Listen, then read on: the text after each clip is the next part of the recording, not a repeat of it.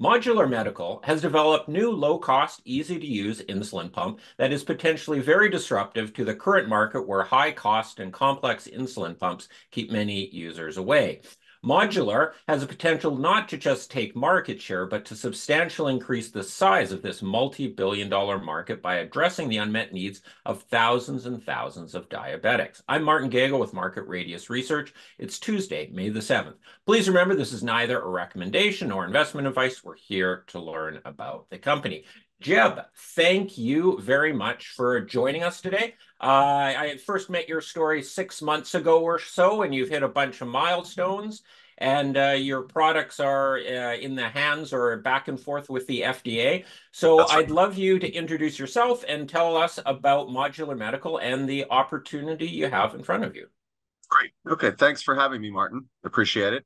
Um, so I'm Jeb Besser. I'm the CEO of Modular Medical. We're a development stage medical device company focused on developing a next generation insulin pump. Um, let's let's skip quickly to hold on. There we go. All right. So we're listed on the NASDAQ under the ticker MODD. We submitted our device to the FDA for clearance on January 19th, 2024. We're headquartered in San Diego, and our initial target market is over $3 billion. And we were founded by Paul DiPerna, who was the founder, first employee, CEO, original CEO, and general guy behind Tandem Diabetes, ticker DN, TNDM, which, believe it or not, even though their device was cleared in late 2010, was the last major entrant, successful entrant into the insulin pump space. So it's been 13 years since someone has gained serious traction and made a run at this. And we'd like, we think that in order to in order to get into this space, you have to be a little different and you have to do things differently. So, the first question people usually ask me is why is there an opportunity here when you have $3 billion plus gorillas already in the space and you're just some little company? Well, it is true. Medtronic, Tandem, and Insulet have been in this space since 1996, 2009, and 2010 11, respectively. Um, and in order to understand why there's an opportunity, you first have to understand what is an insulin pump and why does it actually benefit you? Because insulin pumps for 99.9% of people who are people who require daily injections of insulin are always better care than needles and strips. And the reason is very simple because an insulin pump gives you two things that a needle can never give you.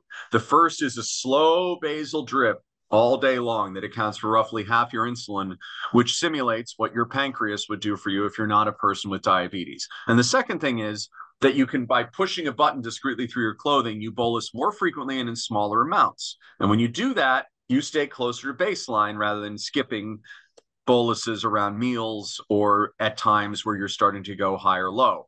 And we know that the long term damage from diabetes over 15 or 20 years comes from these massive excursions from baseline that either happen because of your own behavior or because of the lack uh, or the lack of treatment or the nature of multiple daily injections which are which do not simulate the natural state of affairs very well so insulin pumps are good quality of care and they save the system a ton of money if you go on an insulin pump, it saves an mm-hmm. insurer $10,000 a year fully loaded, including the co- a $5,000 placeholder for the cost of a pump. So you would think the insurance companies would be all over pushing these products, but they are not. They make it very hard for you to go on a pump because they are worried that the current pumps are too costly, too complex and too cumbersome in terms of their form factor in multiple ways in order and they're going to buy you a $4000 paperweight that you will not use. And so they make it hard for you to go on a pump even though there are major savings if they can get you to go on one. And and look to some extent they're right because pumps the penetration of insulin pumps for in type 1 diabetes was 32% in 2006 today it's about 35 it's been almost 20 years and there hasn't been a major movement in, in share there. Now, in type 2, it's gone from zero to about 8 or 9%.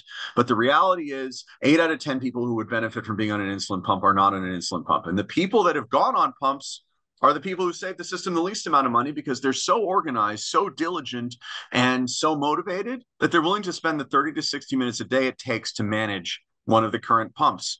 And you can see it in the last statistic on this slide. 2006, 21% of type 1s were making their ADA targets. Today, it's the same number. You can get great care with the current pumps if you're willing to put in the time and effort. And I applaud you for doing it, but that's not everyone. The simplest analogy in this space is some people ha- make cu- a cup of coffee with the $2,000 latte machine that they put on their kitchen counter with a forklift. But most people have a Keurig because it's 80 to 90% of the benefit for 10% of the work. And that does not exist in the insulin pump space today. So, okay. Interesting thesis, but it doesn't have any legs to it. So the first pushback I usually get is, well, Jeb, the reason that there isn't more penetration of insulin pumps is that most users won't wear anything at all. They just refuse to have something on their body all the time to get better control of their diabetes.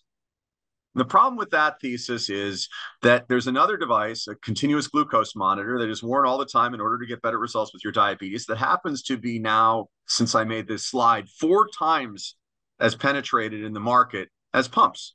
So they are willing to wear something, they're just not willing to wear pumps. Why? What's so different about the CGM space versus the pump space?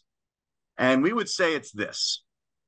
In 2016, Abbott introduced a product called the Abbott Freestyle Libre into the continuous glucose monitor space.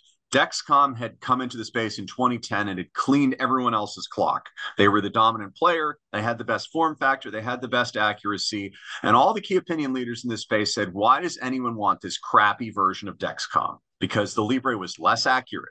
It didn't give you a real time feed. You had to run, swipe a wand over it in order to get a number. It didn't require a finger stick to calibrate, but as a result, it was much less accurate. It didn't have all the real time alarms. It didn't have a patient portal so your family could see how you were doing on a minute by minute basis. And despite all of those issues, Within five years, Libre had as many users and was doing as much revenue as Dexcom. But Dexcom kept growing too because they're totally different audiences. The Dexcom audience looks a lot like the people who use the current three pumps on the market. I work hard, I get better results. I like all the sophistication, I like the alarms, I like to know what's going on on a minute by minute basis. The Freestyle Libre users, when we surveyed them, said things like, I like this product because it makes my life easier. I don't have to prick my finger, bleed on a strip, and then look at the results. All I want to do is swipe the wand and know my number when I when I want to know my number, and that is it. I don't want the finger stick to calibrate in the morning because that's one more thing I have to do to manage my diabetes. I don't want the patient portal because then my family will yell at me for what I ate for lunch. And I don't want all the alarms because people judge me for being a person with diabetes when those alarms go off. So we think that the Libre users, now that they've had the product for five years, are coming back to their endocrinologist and saying, I see how bad my numbers are. I want to do better. But it's really hard. But what do you have for me that isn't one of the current three products? Because I've been looking at those for 13 years and I have friends who are on them and I'm not doing that.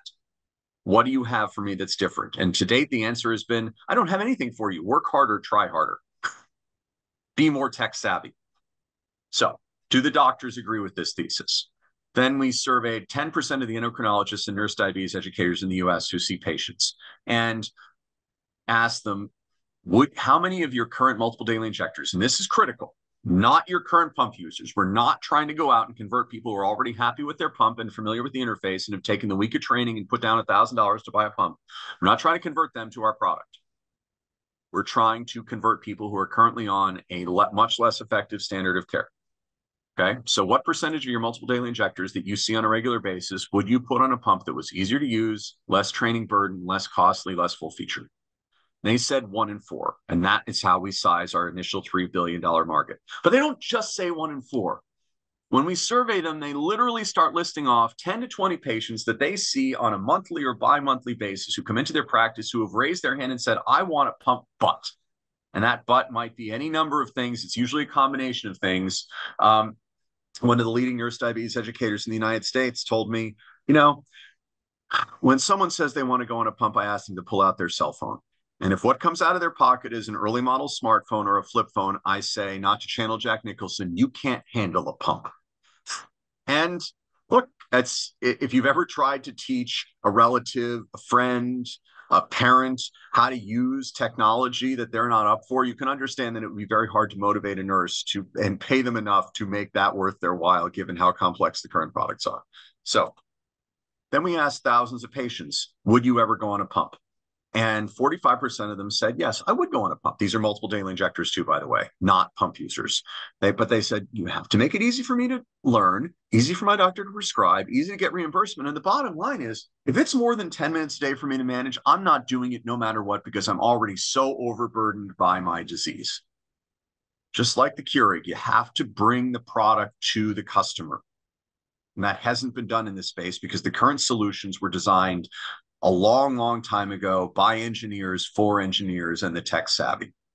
Brilliant engineering solutions to a problem a long time ago. All right. So what did we do to what did we do to change this? So this is this is our product, the Mod One, insulin delivery for almost pumpers, and then we tried to capture in terms of usability as many of the features that people complained about with the current pumps as we possibly could and address those issues. So Issue number one, I don't want to have to carry a second device around or use a complex interface. So we have a simple button. Everything you need to do with our product, you can do with the button. There's going to be an app on your phone that will tell you, yeah, I'm getting, you know, I just bolus myself. I probably don't want to do that again, or the product is on. But everything you need to do, you can do with a button, no cell phone required. Um, and if you look at the Insulet Omnipod, a cell phone is absolutely required. It will not work without it. Um, also, no external so no external controller. I can do everything with the button. I don't want to change batteries. Current products you have to change the like medtronic you have to carry around double a batteries. Tandem you have to charge it while it's on your body at night. Insulet it doesn't work unless that second lockdown cell phone that you have is charged up. And unlike the Insulet Omnipod our product is removable if you put an Insulet Omnipod which is the current market share leader who's taking share hand over fist right now if you put it on once you fire that clever little auto injector and you leave that needle then and it leaves so you put in the needle and then it leaves that soft cannula you can never fire it again. If you take it off it's garbage and so is all the insulin inside. If you knock it off on a door frame it's garbage. If you decide i'm going to take this off because i don't want to talk about my diabetes on a date it's garbage. So removability lack of charge no need to charge our battery is built into the three day cartridge, and we're reusing the electronics. An Omnipod, you're throwing away, even though it's a very desirable form factor, you're throwing away all the electronics every three days. And the electronics are expensive. So by click by using a two-part pump where you click it together with the complexity of McDonald's Happy Meal every three days, and then you just replace the cartridge, you get to use those electronics for 90 days instead of three. That's an enormous cost savings. But unlike the Freestyle Libre, we're not asking you to sacrifice accuracy for simplicity. We are just as accurate as the leading pumps. In fact, we might even be the safest pump on the market if we're cleared because we pump in a totally different way than they do. We pump with negative pressure. And the FDA considers failing open to be the biggest risk with these products. So much of a risk that they will not allow a human trial. You have to do a usability trial where you don't actually pump insulin, but they won't allow you to put a pump on a human being until it's cleared. Because if a pump fails and that three mLs of insulin goes into your body, you're dead in a couple minutes. So no comebacks. You have to you have to make sure that the pump cannot fail open. And you have to pump at smaller than a 200th of a drop with 5% accuracy, approximately. Um, and you have to do it all without agitating the mixture too much because the main preserved insulin is zinc based, even though you're buying the insulin separately and putting it into the device. And the other preservatives in insulin leach into most kinds of plastics. You have to be super careful of your choice of materials. This is a very, very complex problem to try and solve. Oh, and, and before I forget, the other major difference between us and the Insulet Omnipod is because they have all this hardware inside that uh, that was designed a long time ago and requires a lot of power, and they have this auto injector. They can only hold two mLs of insulin. And while their form factor is very desirable, 25% of all type 1s and 65% of all type 2s can't get through three days on three on 2 mLs. They need three, like the other two products have. So if you want a patch pump that has 3 mLs, if we're cleared, we would be the only option on the market. When you said it, your pump works by negative pressure, could you just explain a bit what that means and, and what? So, so what, what that means? So the current the current pumps the current pumps all drive a syringe into a reservoir. They pull it out and then they rotate a finely machined cam every five minutes in order to pump insulin. The way our pump works is that we um, we gradually agitate the mixture using a very, very slow motor, but we're pulsing every 30 seconds, and we use an air pressure sensor to sense what's left in the reservoir. None of the current pumps actually sense what's left in the reservoir directly. They're like driving a car without a gas gauge. And so The way they get their accuracy is by finely machining the cam. And when you hear finely machined, you should think costly. And what that also means is that if we fail because we're pumping with negative pressure by venting by venting the uh, reservoir and then and then detecting what's left in it if there's a failure it actually creates negative pressure meaning that it pulls insulin away from the patient out of the cam out of the cannula and back into the reservoir so that because remember the FDA's biggest fear here is that you fail open because there's no coming back from that so we have eight families of patents around the way that we pump insulin. You can't patent pumping insulin anymore, but you can patent certain features around the way you pump insulin. So we have a great IP moat around this. We have, and we've spent over $50 million developing it and getting this product to this point. Um, but we have another advantage because we weren't designed in 1996, 2001, or 2007. We have access to componentry that just didn't exist back when the other pumps were designed. And in fact, Paul, when he had our engineers working on this product, told them you don't get to use it unless it, in terms of, uh, in terms of the electronic components, unless it comes from another industry. Okay, so we benefit from the scale of the supply chain of cell phones and drones, the most optimized electronic supply chain the world has ever seen. Even though the other guys are doing a billion in revenue, they're doing a billion in revenue in what's essentially a Rolex, a bespoke custom medical device, for, medically designed component from many, many years ago. We're basically pumping with a Casio. And because of that, I can make this claim at the bottom. Between that and reusing the electronics, we are 50% lower cost of goods at scale than the leading patch pump the Insulet Omnipod. This is more on the exact same point, right?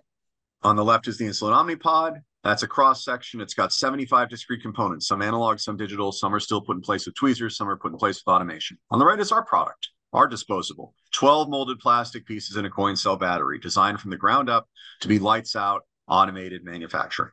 And the automation alone for the Omnipod's last facility cost $65 million. A line, our first line that can do, you know, on three shifts can do something like 60 or 70 million dollars in revs at okay gross margins, six million dollars in capex. We have a huge advantage in terms of capital expenditure. And if I add another $18 million, I can do a couple hundred million on that line. So more capital efficient, easier to use, scalable, None of that matters if you don't have a differentiated way to go to market. And the way these products are sold shocked me when I learned about it. So right now, you go to your endocrinologist and you say, "I want to go on a pump." The endo says, "That's great. Keep a diary for 60 days of all your diabetic uh, all your diabetic events." And they're not saying that because you're a good or a bad candidate clinically. Everyone's a good candidate clinically. They're saying that as a pure proxy for compliance because they're afraid of the $4,000 paperweight problem. At the end of the 60 days, you turn in your diary and they say, Congratulations, you're eligible for a pump. Here are the business cards for Insulet, Tandem, and Medtronic. Call them and they'll come to your house. And so they literally roll a $200,000 a year rep to your house, to do a feature and benefit sale at the kitchen table as to why you should pick their pump. And at the end of that, and then they leave with the product because if they leave you with it, because of the way they're designed, either they'll leave you with a $4,000 medical device that you might not bring back, or or they'll leave you with something that you could potentially self-fill without having the multiple days of instruction that are required to use it given that you know the leading pumps have 12 to 1300 user configurable features and if you configure it wrong you die.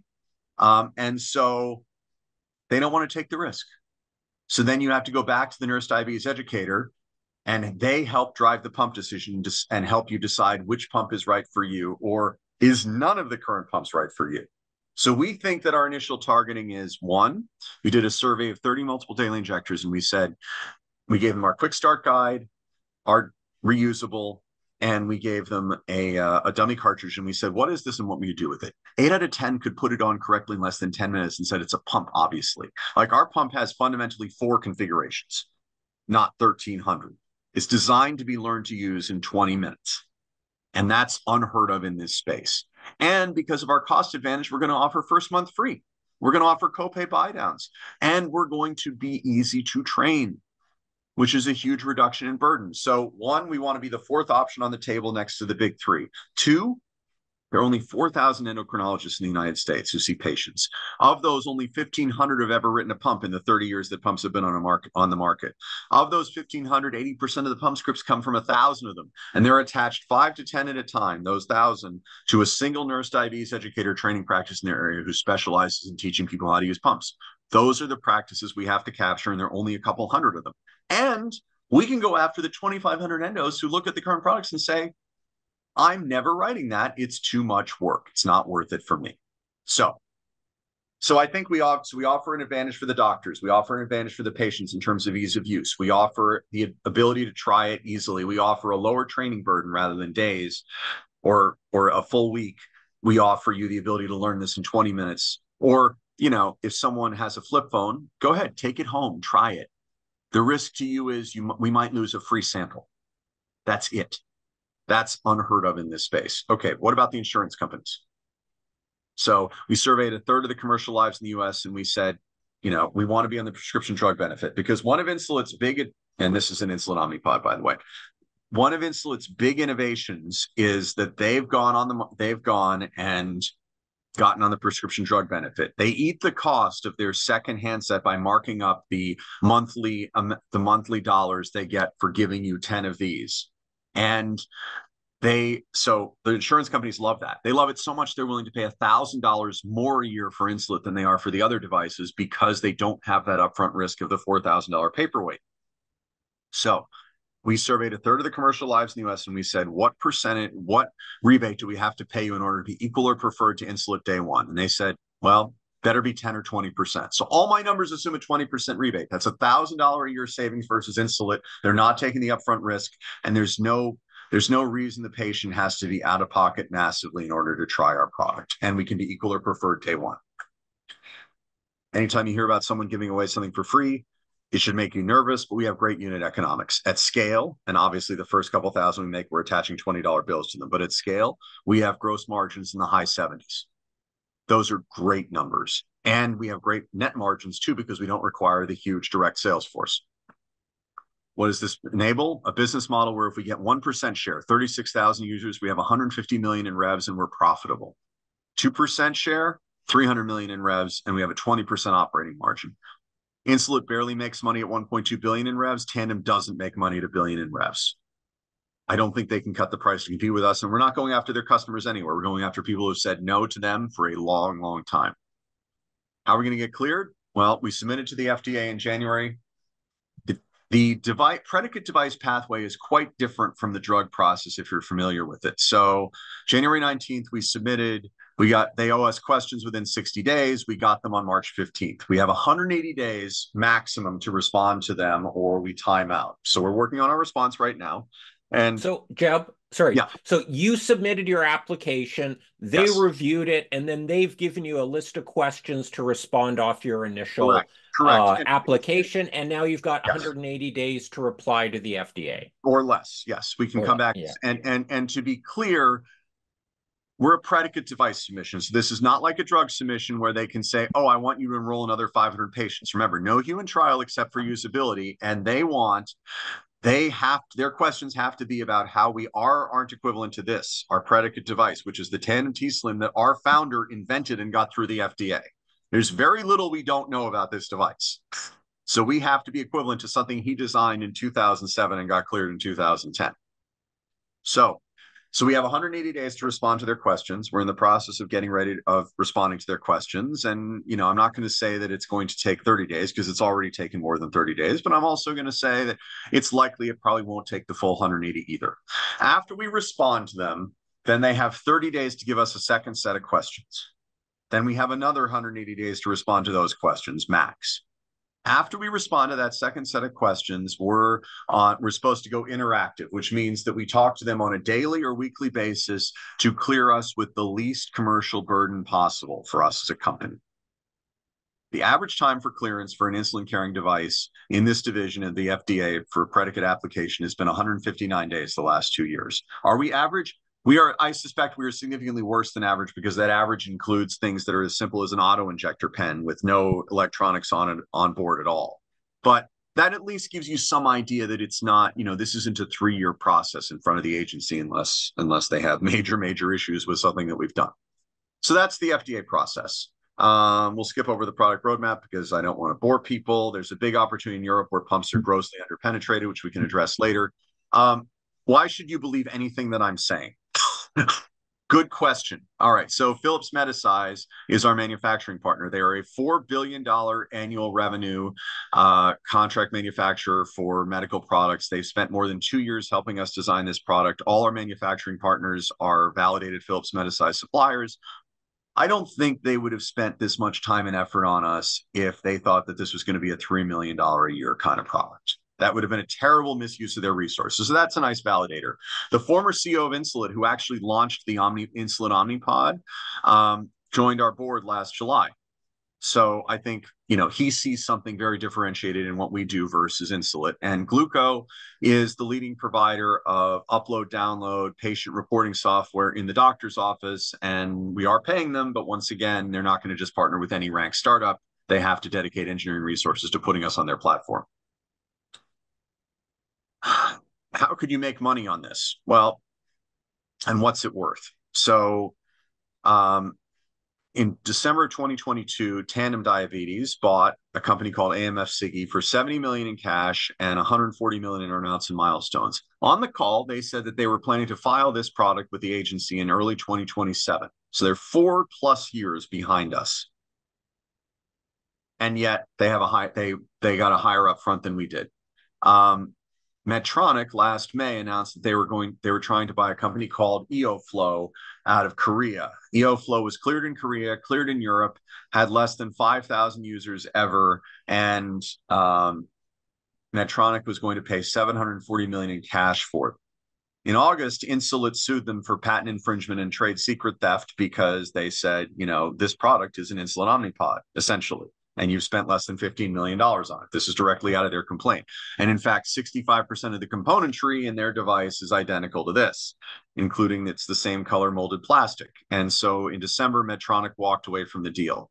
I'm not saying that Medtronic is going to buy us. I'm just going to say that as a comp for how much is a not yet cleared, very late stage insulin pump worth um, to one of the existing players or a new entrant, well, Medtronic was willing to pay $740 million for EOFlow, and our current valuation is more like 50.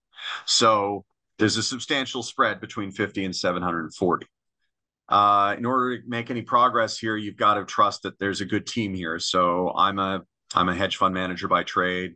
I'm also the PM of the largest shareholder of Modular Medical. So I'm touting my own book, but I'm also eating my own cooking because I make a dollar a year in salary working at this company in addition to continuing to run the portfolio.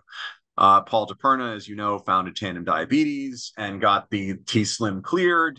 Um, our COO Kevin Schmid came from, ins- you know, was at Insulet and built their first two facilities, so he knows how to ramp up patch pump manufacturing quite well. And we just hired a new VP of manu- of uh, engineering, Steve Gemmell, who was head of R and D for Insulet for five years and worked it Onduo, which is uh, Google and Sanofi's diabetes related health startup. So his job is to integrate us with all the other devices in diabetes land. So we've got a really good team from, you know, not a bunch of 25 year olds from Stanford who say, oh, I could figure out how to do this. And we have a pretty simple cap structure too 31 million shares out, uh, 1.3 million penny warrants owned by a single investor uh, who paid 374 for those warrants. So that's just a filing thing. Uh, 5.1 million warrants at a buck 22 and a bunch of warrants up at six dollars and sixty cents, and that's it. Um, so hopefully, I didn't take too much time rocking and rolling through that. No, that was good. Since we're on the cap uh, table here, you just raised uh, some money. Could you tell yes. us about that raise and how much of a runway does that give you? How much of a sort of financing risk is potentially on the the uh, for uh, shareholders at this point? Great question. So we raised $11 million in February with uh, Titan Partners. Uh, that was a pure common share deal done at $1.10. It was three times oversubscribed. And I would say that, and Manchester, my fund, took 10% of the deal. We would have taken more, but uh, the NASDAQ said it's not an arm's length deal if you take more than 10%, given that you're clearly an affiliate. So this is where we ended up. So we had, you know, good list of institutions, existing shareholders, new shareholders, et cetera. Um, we feel that that money gives us, should give us enough runway to get cleared by the FDA. We have substantial control over our burn rate at this point. We can, uh, you know, our base burn is about half a million dollars a month, but then we're choosing to spend more, one, to stand up the European clearance process where we see big opportunities for a cost-safe product like ours. And, uh, and we want to make sure that our manufacturing is in a good position because we think, you know, we're going to look cards on the table. I'm totally agnostic as to how this all plays out. If a strategic wants to take us out upon clearance, we're happy to pursue that if the price is right. If we have to get a few thousand users or if we have to run this thing, run this all the way through, we're happy to do that too. So, um, you know, I think we have the resources to be flexible about that. So if you see us spending money on manufacturing and other things that might be post clearance related, I think an acquirer might value us doing things that will enhance our margins and our volumes out of the gate. Mm-hmm. And we would value that too. So I think that's our best expenditure of money relative to hiring salespeople who an acquirer would have to get rid of. Yeah, and then it gives you the you're obviously setting yourself up for as many options as possible. So if you don't like the the, if there is a, a, bid for you, then you can say, look, we've got other, we're, we're, we're going down the commercialization path yourself and you have to sweeten up or else we, have got a good path here as well. It puts you in a much stronger uh, negotiating, uh, bargaining position. I, I look, don't take the fact that we're willing, that we're logical and rational stewards of capital who are not afraid to take take the right risk reward for the shareholders as any sign that we're afraid to launch this product ourselves. I got a question here from the audience. Uh, can you tell us a bit more about the recent hire of VP of Engineering? What will he work on? Was he brought on to help with the FDA process? He's mainly not brought on to help with the FDA process. His his expertise is in you know he did the integration for Insulet with uh, with Dexcom and Abbott. Uh, he was head of device at Onduo, where he did integration between CGMs, pumps, etc. So phone integration, advanced, uh, you know, automated insulin delivery, etc. That's his expertise. So um, I would say he's broadly there to help with our feature set after we get cleared, so that we're not seen as because and and you know this dovetails really nicely with another question with another obvious question which is did you dumb down the interface because your product is much less capable and the answer is this package is just as capable as all the other pumps in terms of accuracy. It has Bluetooth, it has NFC, it has all the processing power that the other products have. It's got it's got a great form factor, but it's got everything that they they have in terms of being able to serve the high end of the market but we've chosen to make the interface easy in order to easier to use in order to go after a differentiated set of customers who might not want the super complex interface but there's absolutely no reason that we can't be in the high end of the market if we want to be. And so Steve is to, there to make sure that there's that there's a migration path for someone who wants a more sophisticated experience, but wants to stay on our product or wants to integrate with whatever other devices they happen to be wearing, that there is a path for them and that there is a comfort level for them. And I'll also say, look, he's an extremely experienced guy, and he joined us after the FDA question. So you know you can you might take that as an indication that he he felt comfortable joining us as a full-time employee having having had some awareness of what the fda asked us about. Gotcha. Yeah because i was just looking his um you, you issued the news release uh, for him at the end of march and that was after you received the question. So he must be clearly comfortable with where you're at the types of questions uh because uh, the types of questions they have is indicative of sort of where they're leaning, and you can't share that with us, but you get a sense of if they're they're sort of nasty questions or sort of constructive questions, I guess. Yeah, I think I think you get a pretty good sense from the first set, but you're going to have a really good sense from that second set. Okay. I, I think uh, you know, like, I think that it's um, you know, we didn't put out a press release about the questions because I don't want to say anything that's pejorative for the FDA or for our reviewers, but I'll just say that they met their timeline for getting us questions. And I've had people ask me, like, well, did you get 200 questions or one? Well, it doesn't really matter. If you get one question you can't answer you're kind of you're kind of sol and if you get 200 questions that are all like where where do i find this table? You have nothing to worry about. And the answer is the answer is you usually fall somewhere in the middle.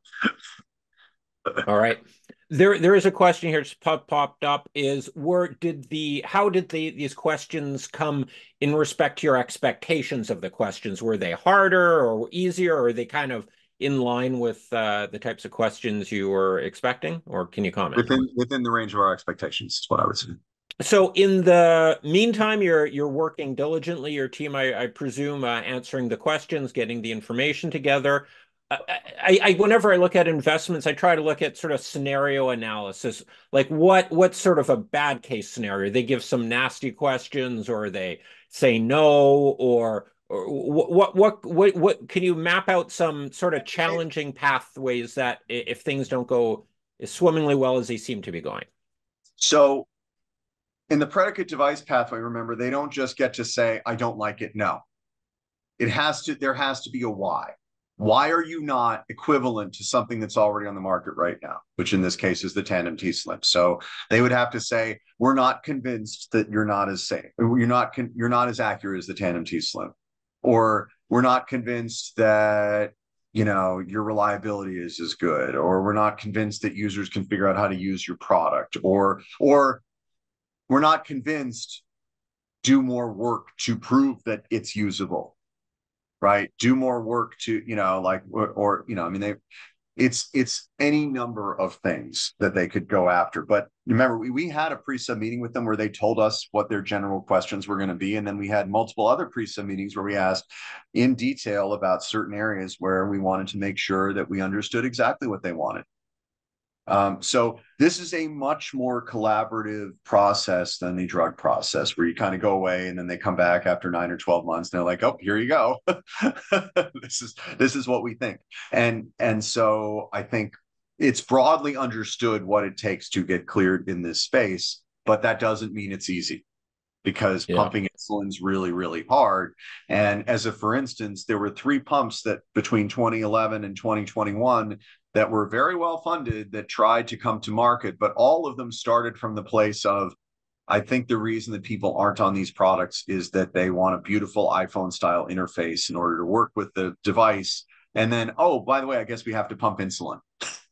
and they pre- they all pressurize the reservoir both to save space and uh, on on their device and to overcome a weaker pumping mechanism. And the FDA was never comfortable with that. Like when you hear pressurized, well, prove to me what imagine a question that might be like prove to me that this can't fail open. That's i mean and honestly we stand on their shoulders right? We've we've consulted with a lot of the people who used to work for them in regulatory to understand what went wrong. And that's yeah. part of the reason that our product is architected the way it is to try and address some of the agency's questions that they've had over the last 12 years about other products that people have tried to bring to market. Yeah. This is a bit of a leading uh, question, but I, I would think as well the FDA sees the the need for having more, given the health benefits of having continuous pumping, uh, that this is a product inherently they would want on the market that addresses a, a large unmet need. And they, as opposed to something worth, mer- uh, let's say, uh, not as clear a benefit. So, in a sense, they would maybe want to, like, obviously, they can't put risk out into the market for millions of patients, but this is something that would do good. So maybe they would try to hopefully get it cleared if it's safe. Uh, so I'm going to answer that two different ways. Yeah. Uh, and they're both going to sound somewhat oblique, but but bear with me for one second. Um, so first of all, the FDA cleared a product last year in May by a company called Beta Bionics. So the Beta Bionics device looks a lot like this, which is the current which is the 670G, the current MiniMed. So it's got a, it needs to be used with a CGM.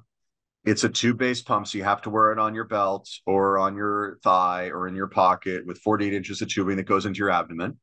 Um, so we don't think it's a optimized form factor, frankly. Like they started from the place of we want to audit, we want to make automated insulin delivery easier working with a CGM rather than we want to make the form factor better.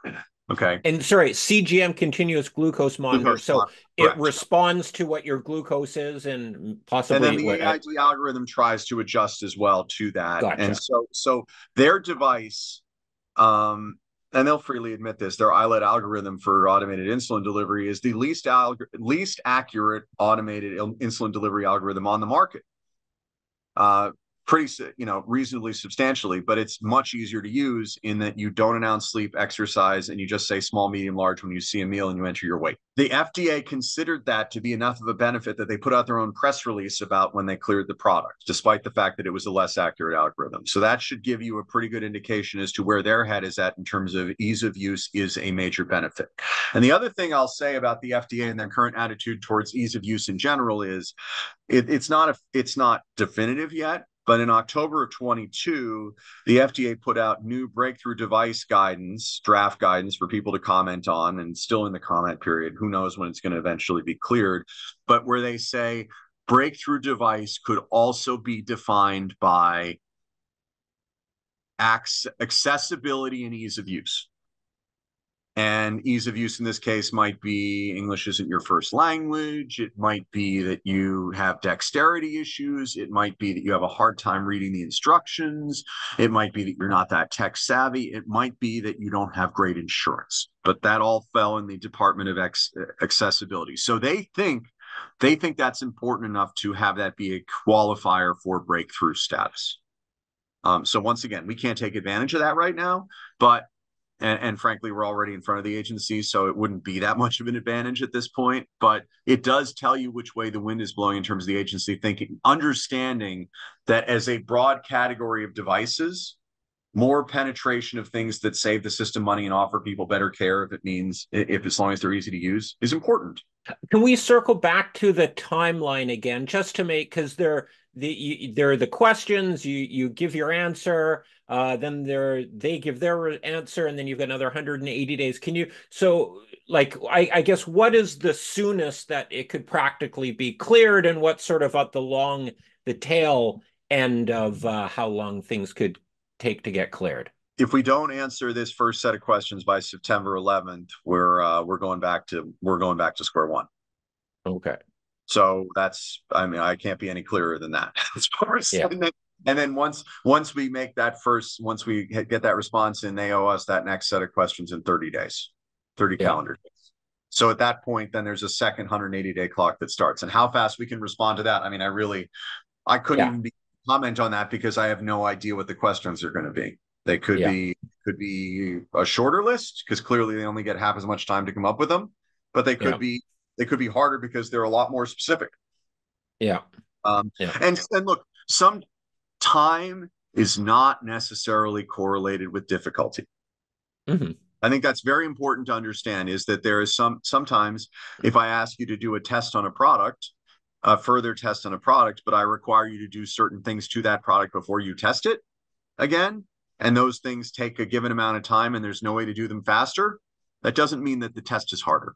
It just means that it takes time to condition the product in order to do said test. And there, and look, there are tests that don't take very long at all. That could be that could expose major flaws and weaknesses in your product. So, so uh, uh now, flip side of that, there are certain tests that take longer and represent major issues if you if you struggle with them. Right? Like remember, we we were delayed submitting our our product to the agency for an extended period of time because we had what's called an insulin stability problem, which was um, the insulin stability test is really simple. It's uh, you know you put you put 30 vials in a beaker at room temperature, and then you pump uh, you pump insulin through your product 30 of your pumps, and then you compare them, and you have to be within 5% in terms of the intact insulin molecules at the end. If you aren't, this is like a you aren't tall enough to be on the carnival ride. If you yeah. aren't like there's no gold star for being 99 there's no c minus for being 95.1 it just has to be above 95 okay? Yeah. and so that we had a we had a materials compatibility issue that made that made us consistently hit like 92 93 and it took us quite a while to figure out what was causing that problem. But that's that's the kind of thing that can take quite a while to solve where you run a real risk of timing out. Yeah. so some things take longer to solve other things don't take long to solve. Other things could be quite straightforward and very quick. Yeah. And then other things might take a while, but don't represent a ton of risk. I know that's that's a fairly oblique answer, but the answer, but the answer in this process is it just depends. why was the equity raise done at such a low price if it was three times oversubscribed? Uh, well, eh, that was the trailing three-day VWAP, and the orders were a lot of the orders were contingent on I want to be at market three-day trailing VWAP, and that's where the stock was trading for three days. I mean, I and it didn't help that the Russell was down nine percent in the two days before the deal was priced. Yeah. Uh, it didn't, you know, and and inherently, whenever you have a, a direct deal like this and you're marketing for a few days, that you run the risk that you take buyers out of the market. Yep. And and the market was soft. Uh, but on the flip side, no warrants. Oh, I should also say the warrants that we do have are not exploding warrants. They don't have resets. They're all cash. It's they're very, you know, it's it's very it's a fairly clean capital structure as far as that goes. So so that's so that's what happened. Um, you know, the stock was under pressure. Um, you know, we didn't yep. have we clearly didn't have, you know, I think uh, you know, we also have an ATM with Leerink uh, that we put in place in November. Um, you know, obviously if if the stock had had an enormous spike after we submitted to the FDA, maybe I would have taken more more money off the Leerink ATM, but uh, you know, the market we traded 250,000 shares after we submitted and that that wasn't enough. That wasn't enough for us to feel comfortable. Yeah, yeah. All right, and then that's just one risk you've gotten off the table. Now you you've got a nice uh, yeah. runway. Yeah, uh, yeah, and I think ahead. I think we'll we'll we'll we'll reactivate the ATM in terms of having it out there. But I don't have you know we have plenty of capital right now. I don't have any desire to sell stock down here. It's just yeah. good house good housekeeping in case you know in case something like when we when we announced Phillips Medisize, the stock traded 15 million shares, um, in a day. Uh, so you know, I think I think as a management team, it's just good housekeeping to have have that optionality available if the price is right. But yeah. right now, the price is most certainly not right. And I can say that as a shareholder whose whole incentive in this company is oriented around the equity. I'm not going to do something to dilute myself just to make more money, just to make more salary because there is no salary for me. yeah in terms of news flow coming out, I, I, presume you'll issue a news release when you saying we've responded to the FDA, or what other types of news flow items should investors be looking out for to see that sort of things are progressing and, and milestones are being hit? Um, well, the, what I'll say about putting out a press release or an 8K about responding to questions is you won't see a lot of companies or any companies that I know of in the medical device space doing that because that can only go badly for you in terms of uh, your relationship with the FDA. When we re- when we received the questions, all we did was we took the deck that was on our website and we put this checkbox right here with a date. And yeah. I think when we respond to the questions, we're going to do the same thing. As far as news flow goes, you know, I think you'll see us start to work on the European process. There might be some news related to that because, you know, in Europe, the high, highest penetrated market is Germany at like 14%. Europe, uh, the UK is like five. France is mid mid to low single digits too. Um, we think there's a lot of opportunity given the socialized me- medical systems for uh, a product like ours. Um, where we don't have to invest in a big sales force because ultimately it's the government who tenders for it and then we sell them a product. And they know there's a long-term benefit to our product but they've been unwilling in general to invest in the high upfront costs related to our competitors. So there's the european stuff. Um, there might be some more key hires that we can put in place as we as we get close as we get further along. And um, you know as I said, if you if you see us spending money on manufacturing, that's meant to that's both something that we see benefit in both if we're independent or not independent in terms of uh, in terms of value and getting a multiple, and also a sign that we're willing to shorten our runway a little bit because we're feeling comfortable with the FDA process. All right. Let's say when you or if you or if when you get your approval what happens at that point? How long does it take for you to i guess hire the commercialization team? Are you going to hire any of the commercialization team prior to fda approval? And then when would revenues start uh, kicking in? Great question. Okay so and i'm glad you asked this because this is an important clarification point. So remember in the FDA process, once you finish, when you get that letter saying that you're cleared, your product has never been worn in a real world environment delivering insulin ever. That's illegal.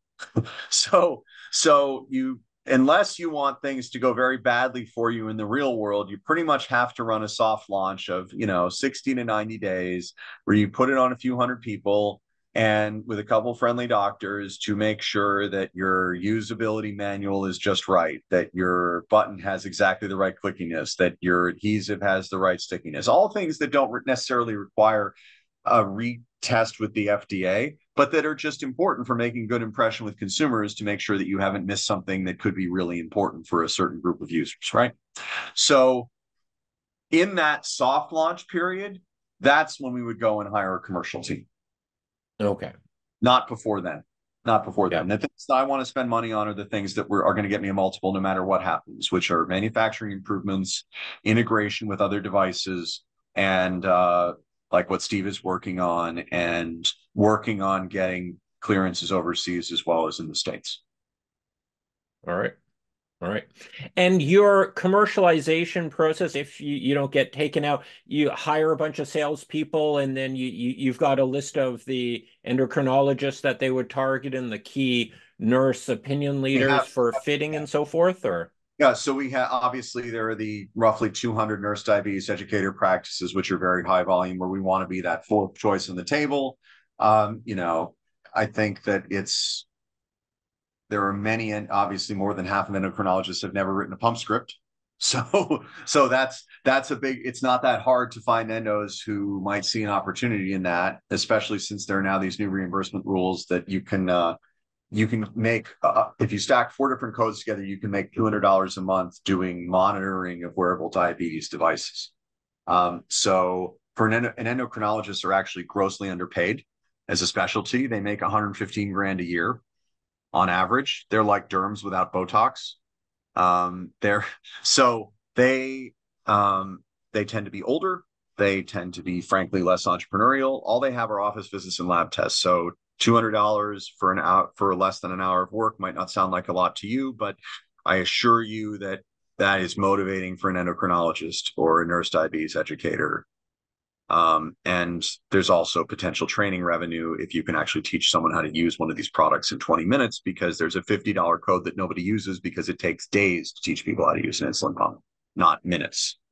Okay. Yeah. So so there are additional revenue opportunities that will drive things, but I still think not selling direct to the patients and going the sample route like everyone else, everywhere else in medicine does, allows us to be much more scalable because we only need a 20 to 25 person direct sales force and then associated supporting staff.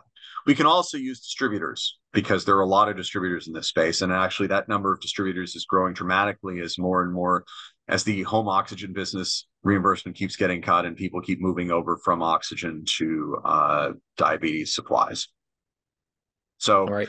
so look, I think I think there are there's the go it alone and do everything yourself model. There's a hybrid model where you use distributors and direct salespeople. There's a model where you go heavier on the distributors.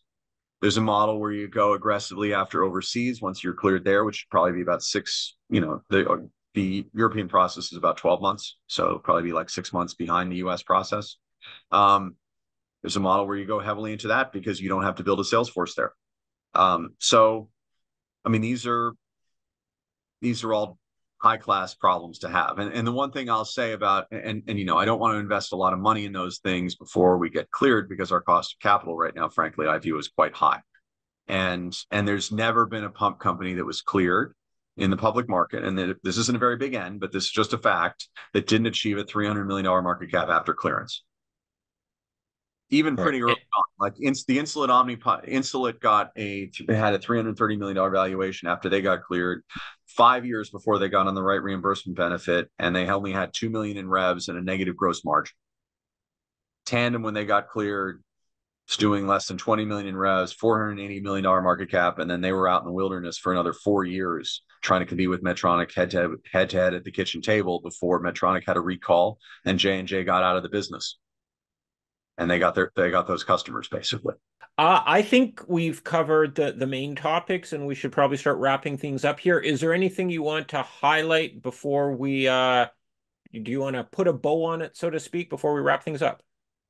I'll I'll just say that you know, one we're in the midst of the FDA process. You know, we're going to be con we're constantly evaluating how to maximize shareholder value. And you know there's no one sitting at the table here who doesn't have that as their as their guiding light. You know paul's not one of these scientific founders who thinks this is the only good idea he's ever going to have. He did tandem. He did this other company ivera medical which was sold to 3m right after clearance uh, has nothing to do with diabetes but um, you know obviously i'm a hedge fund guy i'm you know I'd like to be on the other side of the Zoom at some point again, not on this side. And so, you know, look, I I think we're going to do what's right for the shareholders, and we're not afraid to commercialize. We're not afraid to do something in the middle, and we're also not afraid to find the right home for this because we think that this would be very accretive for anyone else in this space. Jeb, thank you very much. I really appreciate the time. I appreciate you uh, pitching us the story and walking through it all. Uh, uh, all can all the best. Uh, good luck on all this, and I'd love to have you back as we hit some more milestones. We can maybe talk about how things are progressing. That sounds great, Martin. Thank you for having me. All right. Cheers. Have a great day.